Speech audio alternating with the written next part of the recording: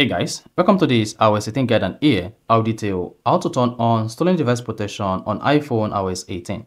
So the stolen device protection is a new feature for all iPhone using iOS 18 to protect their device from intruders. So with this feature turned on, no one will be able to sign out of your iPhone account without your permission. So it's going to give them at least one hour before they can actually sign out of your iPhone account. So if you want to turn this on, then here are the steps you need to take. So if I don't know this, you found this often informative, Please don't forget to like and subscribe.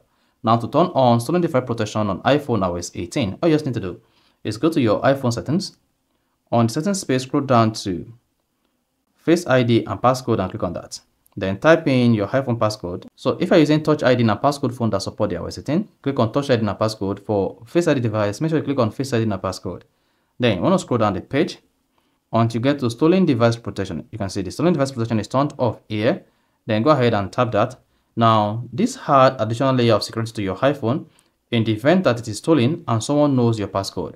Then go ahead and turn this on.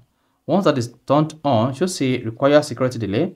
Do you want to always require security delay or you want this to be done only in a familiar location? So in this case, I'm going to choose always require security delay.